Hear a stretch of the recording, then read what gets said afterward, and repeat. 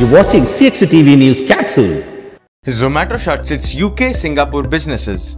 The recently listed firm is shutting international subsidiaries that don't contribute to its business as a part of its cleaning up exercise. In August, Zomato shuttered its US subsidiary and sold its stake in Nextable Inc. for $100,000. Zomato once saw its international operations as a key growth area, but revenues from overseas comprise a tiny portion of its earnings. HPE wins $2 billion HPE GreenLake contract with National Security Agency. The new collaboration will enable the NSA to harness rapidly growing AI and data needs more efficiently to create insights and other forecasting and analysis with optimal performance. By using HPE's HPC solutions to the HPE GreenLake platform, which provides fully managed secure cloud services on premises, the NSA will benefit from an agile, flexible, and secure platform to meet their growing data management requirements. The new service will go into use starting in 2022.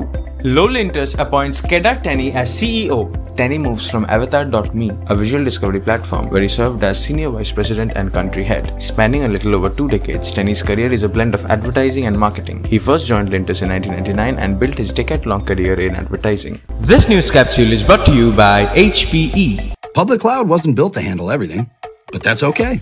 Because now you can bring a new kind of cloud experience to all your apps and data, no matter where they live. Meet the next generation of cloud services from HPE GreenLake.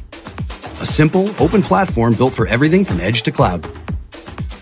Select the services you want and get your pre-configured services delivered on-site and installed by experts across your locations in as few as 14 days. HPE GreenLake, the cloud that comes to you. For more updates from CXO TV, please like and subscribe to our channel.